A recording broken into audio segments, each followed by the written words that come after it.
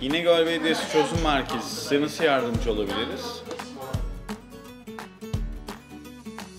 Havaların sabahları, akşamları, gündüzlerin uzaması 21 Aralık'ta başlıyordu.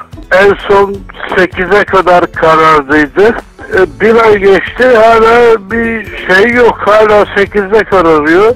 Sizin de dikkatinizi çekti mi? Abi İnegöl AVM'de e, asansör var ya içinde kaldık. Onu mu aramamız gerekiyor? Herhangi bir numara var mı? acaba? Bir tane meta, bir tane seta, onlar iki bin.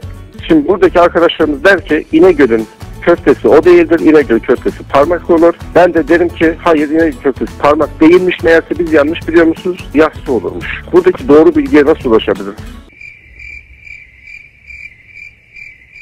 Arkadaşlarla sohbet ederken İnegöl'deki pazartesi pazarının ilk defa hangi tarihte kurulduğunu eee, merak ettik. Rusya ile Ukrayna arasında savaş var ya ne zaman bitirecek? Benim Burada iki tane küçük çocuk var.